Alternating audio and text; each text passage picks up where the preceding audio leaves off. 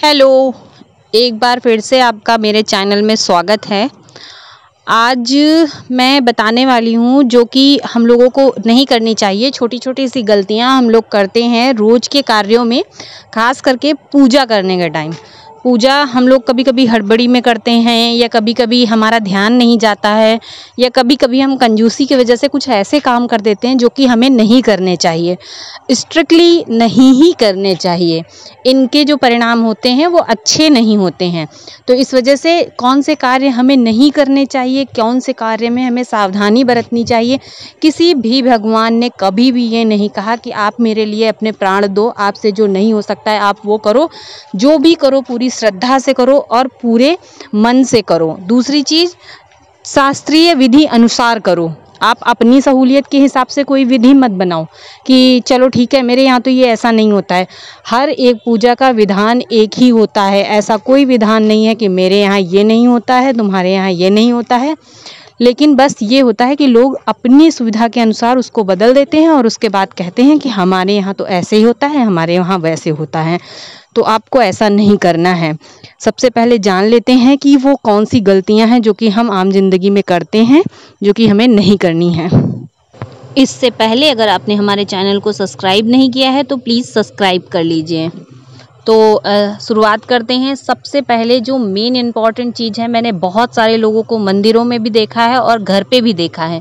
वो धूप बत्ती जो अपने मंदिर में लगाते हैं, जो मंदिर में अपने धूप बत्ती लगाते हैं, अगर वो नहीं जलती है तो उसको वो दोबारा फिर से जला देते हैं। या फिर उसको दूसरे दिन अगर उन्होंने मंदिर देखा, दूसरे दिन अगर मान लो वो ऑफ़िस जाते हैं, उनको टाइम नहीं मिलता है, वो दूसरे दिन देखते हैं तो दूसरे दिन फिर से वो धूप बत्ती जला देते हैं। ऐसा बिल्कुल भी नहीं करना है। जली हुई धूप बत्ती दोबारा नहीं जलानी होती है।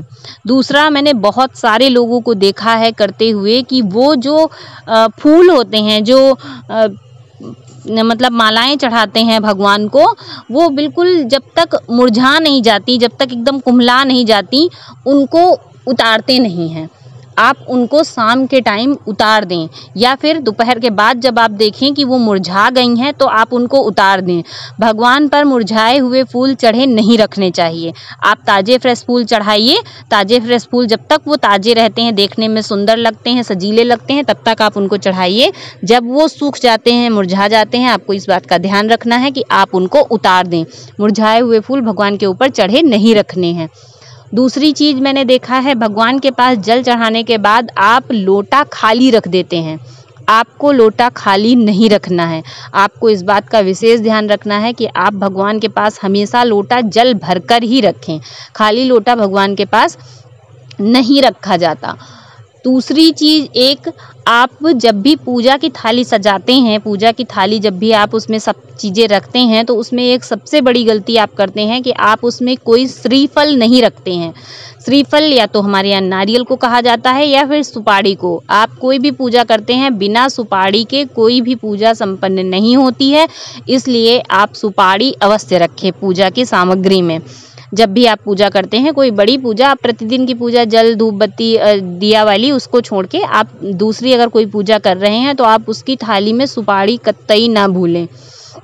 उसके बाद मैंने बहुत सारे लोगों को देखा है, जब दीपक जलाते हैं तो दीपक में अगर तेल बच गया है तो वो उसी तेल का पुनः इस्तेमाल कर लेते हैं, उसमें बत्ती बदल देते हैं या वही बत्ती जला देते हैं।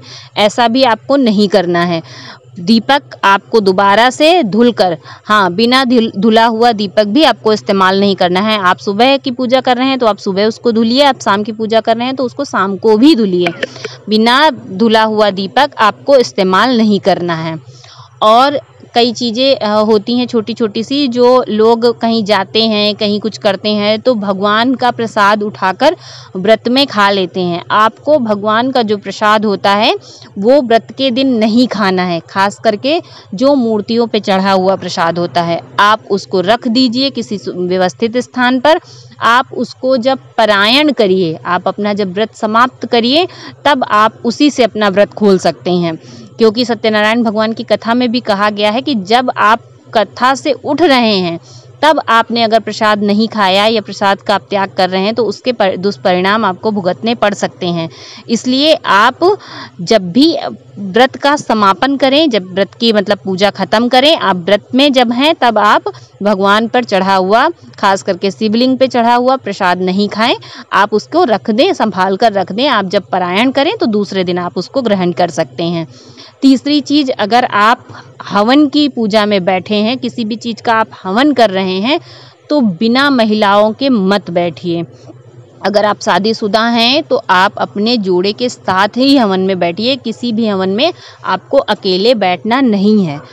दूसरी चीज़, अगर आप शादीशुदा हैं और आप किसी चीज़ का संकल्प कर रहे हैं तो अगर आप संकल्प कर रहे हैं या आप साथ में हैं तो आप स्त्री के साथ संकल्प करें। अगर आप स्त्री के साथ संकल्प नहीं कर सकते हैं तो जहाँ पर आपकी पत्नी हैं या जहाँ पर आप हैं मतलब अलग अलग हैं दोनों लोग तो आप उन्हें फ़ोन करके या उन्हें किसी प्रकार से सूचित कराइए कि आप इस बात का संकल्प कर रहे हैं, वो भी भगवान के सामने इस चीज़ की प्रार्थना करें।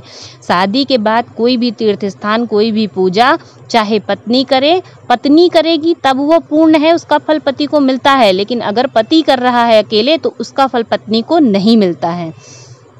तो आपको इस बात का भी विशेष ध्यान रखना है कि शादी के बाद आप जब भी कोई पूजा करें तो आप उसे स्त्री के हाथ से ही संपन्न करवाएँ या फिर आप उसे स्त्री के साथ बैठकर, साथ मिलकर करें।